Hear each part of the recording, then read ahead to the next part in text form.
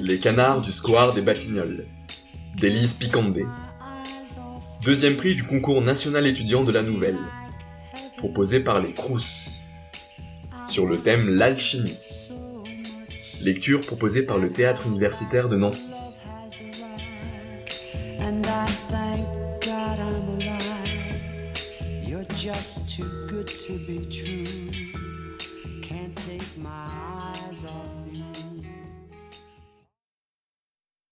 Les canards du square des Batignolles. Alors voilà, je suis amoureux. Marie et Paracelse se figèrent. On n'entendait plus que le crépitement du feu sous l'alambic en bronze dans lequel ils prélevaient à la pipette un liquide vert gluant. Puis ils éclatèrent de rire. Du revers de sa blouse, Marie essuya une larme sous ses éternelles lunettes noires.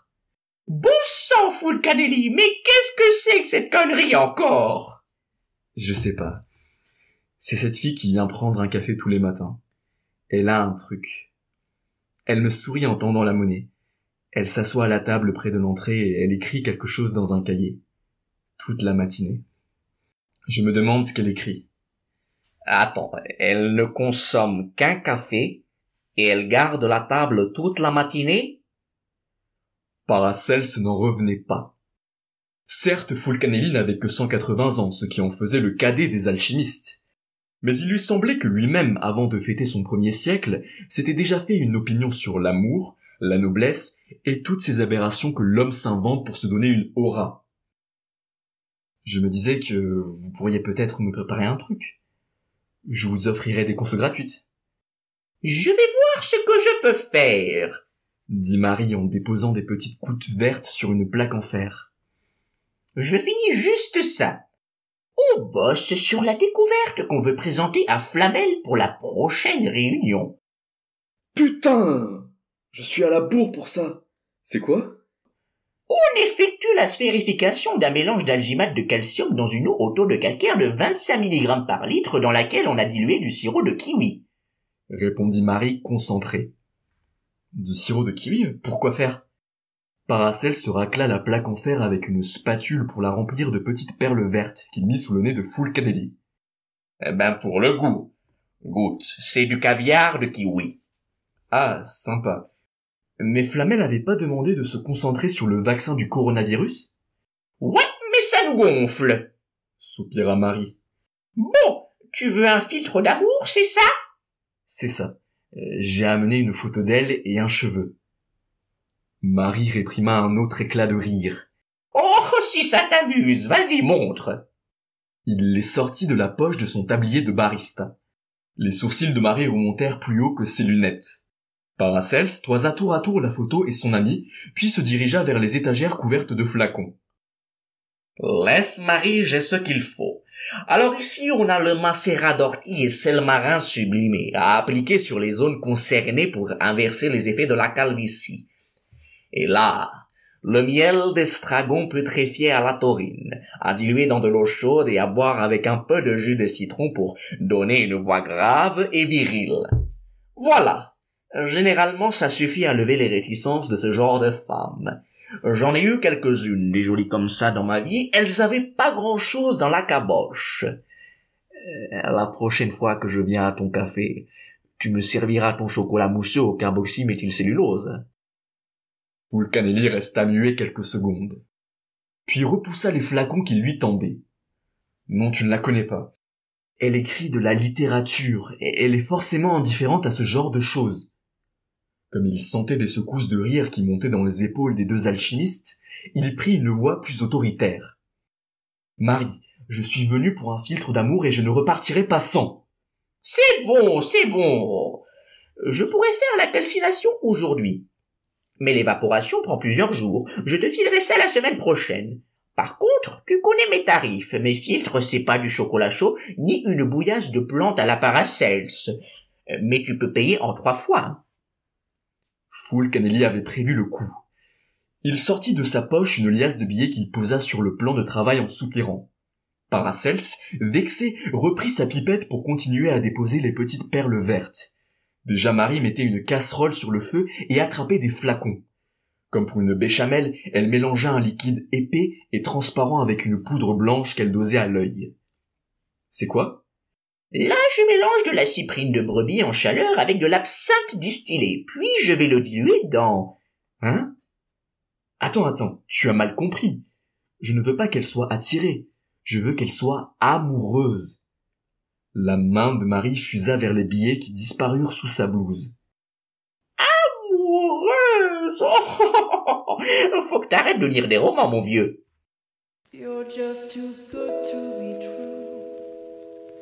Can't take my eyes off you. You'll be like heaven to touch. I wanna hold you so much. Fulcanelli marchait pensif sur le boulevard de Clichy, le visage dans l'ombre de son chapeau encore un peu remonté par ce que Flamel lui avait dit la veille quand il l'avait invité à prendre un café. On ne pouvait jamais parler avec Flamel, encore moins d'amour. Sa voix furieuse résonnait encore. Écoute-moi bien, Fulcanelli. Je ne te fournis pas en panacée pour que tu gaspilles ton immortalité avec des conneries pareilles. Le monde est en train de s'écrouler. Si l'adepta existe, si on se réunit tous à chaque nouvelle lune, c'est pour percer les mystères de la fission atomique, trouver des remèdes aux virus qui ravagent la planète, des alternatives durables, pas pour suivre le feuilleton de tes amourettes et boire des cappuccinos dans ce taudis. Un taudis? L'Alchimie Co était décrit par tous les guides parisiens comme un lieu cosy et branché. Et au moins, il préservait les techniques ancestrales en apportant du bonheur aux gens, au lieu de les arnaquer comme faisaient ses confrères alchimistes. Tu n'as donc aucun respect pour l'adepta. Dissoudre du sucre dans de l'eau chaude n'est pas une technique ancestrale, avait crié Flamel. Et les masques capillaires de Paracel, c'est ancestral peut-être? Si tu veux du taudis, va voir son cabinet de naturopathe. Grommelait Fulcanelli qui ressassait sa colère en marchant seul. Dire qu'il avait considéré toutes ces années Flamel comme le plus grand des alchimistes. Il sentait à chaque pas son respect s'envoler un peu plus depuis qu'il avait franchi une limite celle de lui dire ses quatre vérités. Pourquoi se laisser impressionner indéfiniment par ce petit homme replé Furieux que personne ne s'intéresse aux difficultés sentimentales qu'il traversait, il lui avait craché toute sa rancœur à la figure, au risque de perdre son adeptat. Il s'en fichait désormais. Flamel pouvait bien le priver de panacée, il vieillirait comme tout le monde, il quitterait ce monde de fous, et bien tant mieux. Alors voilà, il lui avait dit à Flamel que c'était facile de ne pas s'abaisser à faire des cafés mousseux dans un taudis, quand on détenait la pierre philosophale et qu'on n'avait qu'à changer du plomb en or pour ouvrir une bijouterie et s'en mettre plein les poches sans se fouler. D'autant plus que c'était sa femme, Pernelle, qui passait ses journées à la caisse de la bijouterie Flamel. Alors s'il voulait que les autres alchimistes se consacrent à la question nucléaire, au vaccin ou au plastique compostable, il n'avait qu'à partager sa fortune. Alors Flamel avait soupiré comme fatigué. Je voudrais bien, mon petit. Je voudrais bien. Mais je n'ai jamais eu la pierre philosophale.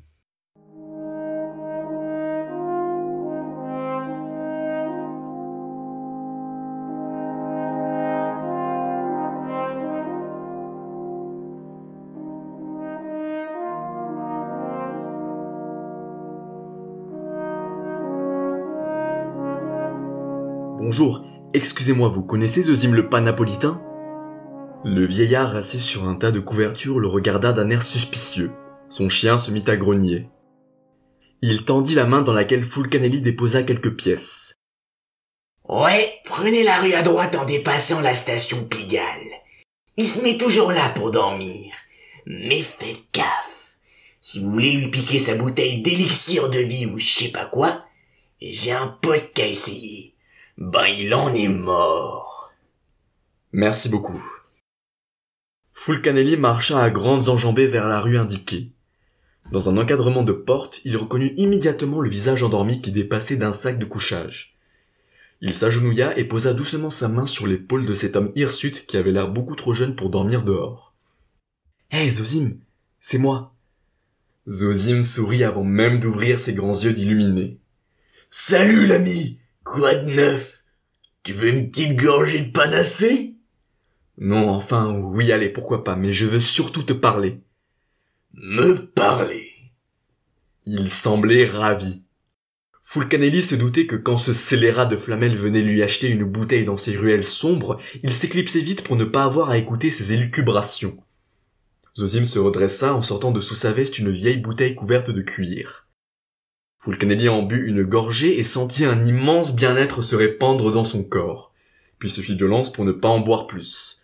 Une seule gorgée à la fois, sinon c'était l'addiction assurée. J'ai vu Flamel hier. Il m'a tout dit pour la pierre. Zozim glissa une main sous son manteau au niveau du torse.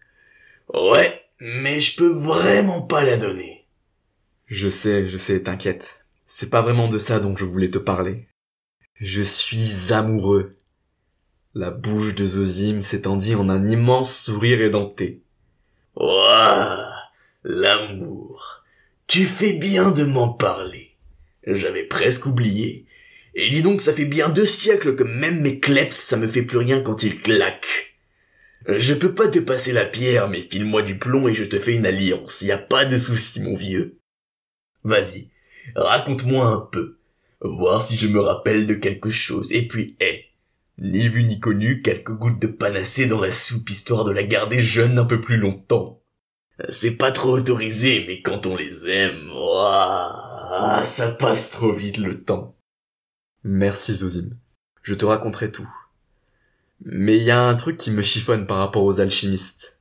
Dis-moi tout. Zozim lui fit une place à côté de lui et étendit le sac de couchage sur leurs jambes. Eh bien, tout le monde a oublié ce qu'était l'amour. Ah, ça. Mais c'est un vrai problème. Flamel se démène pour qu'on sauve le monde de l'effondrement ou je ne sais quoi, et on regarde le monde s'écrouler dans l'indifférence la plus totale. Alors je me dis, autant prendre le bonheur où il y en a encore, au lieu de faire des réunions où on parle tous en même temps de problèmes qu'on ne résout pas. Ensuite, si on arrive à retrouver un peu d'humanité, on serait plus motivé, tu crois pas? Et comment? C'est ce que j'ai dit pendant 200 ans. Après, j'ai arrêté parce que j'avais plus trop de salive et que les autres, ça les intéressait pas trop. Tu es le seul à pouvoir faire du panacée. Si tu continues à en donner à Flamel, c'est que tu juges qu'on a notre rôle à jouer dans ce monde, non? Dis-moi la vérité. La vérité, c'est que je suis bien trop con pour en juger de moi-même. Mais je me dis que les autres risquent toujours d'être encore plus cons, alors j'aime autant pas donner ma pierre, tu vois? Et j'ai beau me creuser la tête, je sais plus du tout comment j'ai fabriqué ce putain de caillou. Un homme passa devant eux et leur jeta une pièce. Ils écoutèrent quelques secondes le bruit lointain des voitures. Jusqu'à ce que Zozim rompe le silence. Tu sais quoi? Mhm. Je suis fatigué. Tu veux dormir? Ouais, mais dormir pour de vrai. C'est long un millénaire et demi. Il passa une main sous son écharpe, tira un coup sec et en sortit une pierre assez banale, plate et vaguement rouge attachée à un fil de cuir. Tiens, vieux, c'est pour toi. Quoi? Pour faire le panacée, rien de plus simple. Tu fais infuser une nuit dans un liquide. Moi, je fais avec du rhum parce que ça conserve bien. Fulcanelli prit la pierre à deux mains, le cœur affolé. Mais je peux pas Je suis rien du tout dans l'adepta, faut la donner à Flamel Ah non. Après tout ce temps à faire croire qu'il l'a inventé, ça lui ferait trop plaisir. Il a déjà essayé de me la piquer pendant que je roupillais. Il a eu bien de la chance que je le reconnaisse avant de l'égorger. Toi, tu viens sans rien demander et tu me parles d'amour. Alors voilà, je prends ma retraite. Il secoua sa bouteille. Putain, si j'avais su que c'était ma dernière, je t'en aurais pas laissé une gorgée. Je vais faire de mon mieux, mais... Ouais, Fulcanelli rangea la pierre dans sa poche et regarda Zozim se rallonger dans son lit de fortune. Du coup, pour la fille dont je t'ai parlé, euh, je sais même pas comment elle s'appelle. T'as des conseils? Zozim éclata de rire. Ah, ah, ah, ah, ah, ah, ah, ah. Les filles. Attends que je me souvienne comment on fait. Ah ouais, je crois qu'il faut aller leur parler.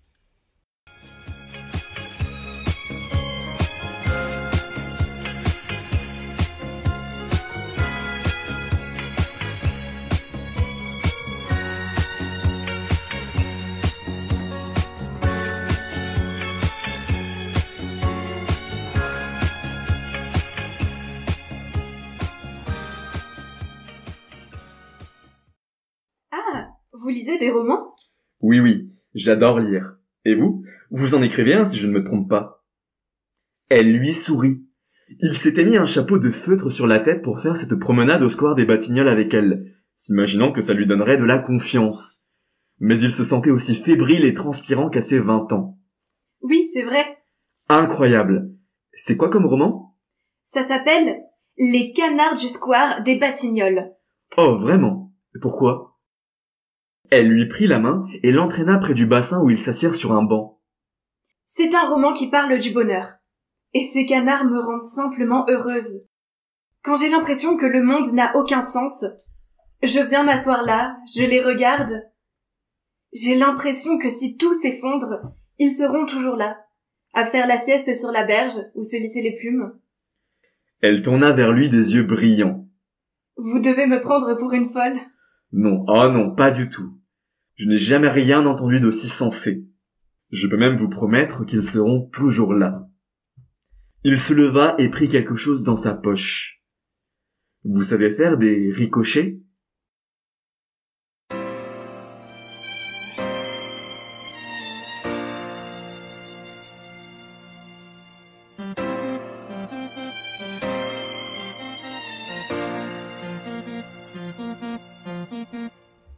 C'était Les Canards du Square des Batignolles, nouvelle écrite par Élise Picandé. Deuxième prix du concours national étudiant de la nouvelle, proposé par les Crous, sur le thème L'alchimie.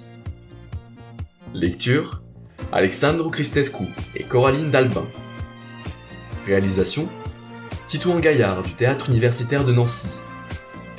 Sous la bienveillance de Caroline Bornemann.